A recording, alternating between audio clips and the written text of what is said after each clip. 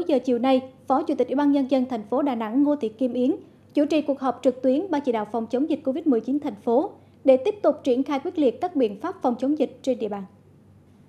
Theo báo cáo, hôm nay toàn thành phố ghi nhận 169 ca mắc Covid-19. Một số điểm nóng ghi nhận nhiều ca mắc như tổ 26 phường Hòa Khánh Nam, quận Liên Chiểu, ca 339 Trần Cao Vân, phường Xuân Hà, quận Thanh Khê, chung cư Blue House, công ty trách nhiệm hữu hạn Châu Đà, công ty Maastricht. Trong ngày, lực lượng chuyên môn xét nghiệm hơn 17.000 lượt người. Tính đến nay, thành phố đã tiêm hơn 1,9 triệu mũi vaccine phòng COVID-19, trong đó tiêm mũi 1 cho 960.000 người, mũi 2 cho 940.000 người và mũi 3 cho 527 người.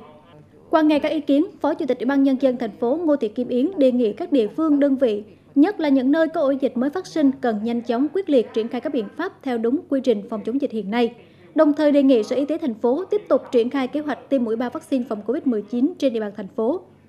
Ưu tiên cho những người bị bệnh này, đặc biệt như là suy thận, ung thư đang ở trong giai đoạn à, đang mà mà à, bệnh đang tiến triển rồi à, tức là mình sẽ ưu tiên tất cả những cái trường hợp ngồi mà cái nguy cơ sẽ theo cái danh mục bệnh nặng mà Bộ Y tế ban hành, thì chúng ta ưu tiên để tiêm trước với cái lượng liều vaccine mà trước mắt thì mới chúng ta mới có 8 ngàn. Phó Chủ tịch Ủy ban Nhân dân thành phố Ngô Thị Kim Yến đề nghị Sở Y tế cần tiếp tục triển khai nhanh công tác tiêm mũi 3 ngay sau khi Bộ Y tế cấp vaccine về thành phố và tiếp tục chuẩn bị triển khai sớm nhất việc điều trị F0 tại nhà với đầy đủ các quy định hướng dẫn cụ thể.